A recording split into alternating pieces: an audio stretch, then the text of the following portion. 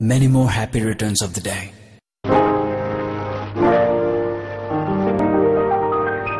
பிறந்த நாள் இன்று பிறந்த நாள் நாம் பிள்ளைகள் போலே தொல்லைகள் எல்லாம் மறந்தன